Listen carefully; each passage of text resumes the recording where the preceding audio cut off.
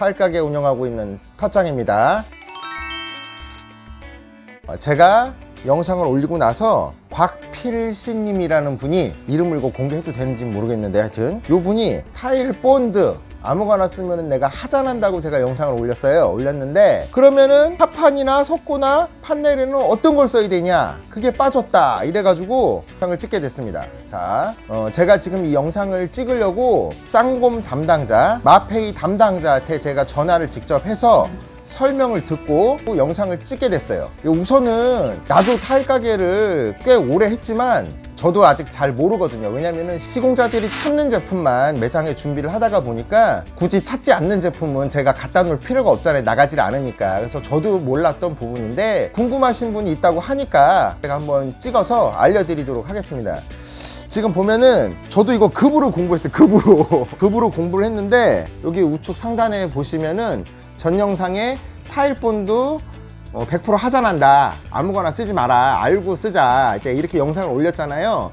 그러면은 어떤 걸 알고 이제 사용을 해야 되냐? 자 제가 공부한 거를 제가 한번 알려드릴게요. 하판이랑 석고보드에는 보통 요 쌍곰 요거 7000번 요거를 그냥 많이 쓰긴 하는데 사실상 정확하게 쓰는 건 정해져 있어요. 뭐냐면은 쌍곰 9500번 F. 제가 이거 공부하려고 이렇게 제가 이거 뽑아 가지고 왔는데 요 위에다 영상으로 올려놓고 이미지는 제가 다시 한번 알려드리도록 할 거고 요게 뭐라고 써 있냐. 그냥 길게 하면은 거시기 하니까 그냥 짧게 알려드릴게요. 특수 첨가제와 경량형 충진제의 조합으로 비율이 낮아 취급에 용이하며 합판 보드류 시공의 최적의 제품입니다. 이렇게 나와 있어요.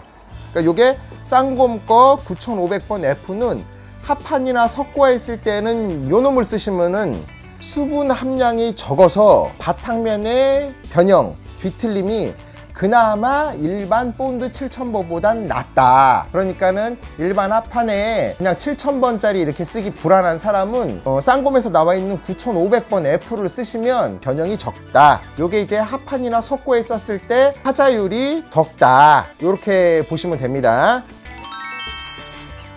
뭐 샌드위치 판넬, 그 다음에 유리, 그 다음에 뭐 플라스틱 이런 데 타일을 붙일 때에는 기본 바탕면의 흡수율이 거의 빵이라고 봐도 되거든요. 그럼 거기에 타일 본드를 붙으면은 이게 접착력이 안 돼. 그래서 이거를 어, 하자를 줄이기 위해서는 어떻게 해야 되냐? 이게 마페이에서 이게 판매를 하고 있는 마페 프림 그립이라는 게 있어요 The primer is rapid drying and gives a sandpaper texture to achieve a mechanical key, which is perfect for the application of the subsequent systems above.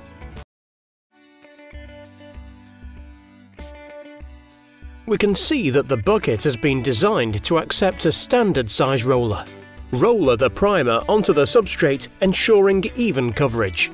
나도 사실 요거는 오늘 처음 알았는데 전에부터 얘기는 들었는데 이게 찾는 사람이 없다 보니까 나도 굳이 신경을 안 썼는데 뭐 샌드위치 판넬 요럴 때에는 이 제품을 쓰면은 하자율이 거의 발생을 안 한다고 합니다. 이게 뭐냐면은 제가 출력해서 보니까 다용도 접착 프라이머 미장면과 세라믹 타일용 접착제에 사용한다. 기본 바탕면이 흡수율이 없을 때에는 요거를 프라이머로 한번 발라준 다음에 2시간 있다 타일을 붙이면은 처짐 발생 발생하고 이런 것들이 거의 없다. 그러니까 이런 거는 시공자들도 많이 해본 사람이나 관심이 많은 사람들은 하지 않으려고 이거를 꼭 쓰는 것 같아요. 근데 나도 뭐 갖다 놓을 사실 뭐팔 찾는 사람이 없는데 내가 팔 필요가 없잖아. 그래서 나도 갖다 놓지는 않았는데 갖다 놔야겠어 이것도 이제. 요거 에코 프림 그립 요거 마페 있고 요거는 한 3만 5천 원에서 4만 원 선 정도면 살 수 있대요. 요게 5kg 짜리로 포장이 돼 있는데 이게 그 면에다 이렇게 바르는 거더라고 바르는 거 자, 그렇게 설명을 하겠습니다. 제가 이걸 하면서 구독자분께서 다른 제품은 어떨 때 쓰는 건지 좀 알려달라 이렇게 해서 이런 정보 하나씩 올리면은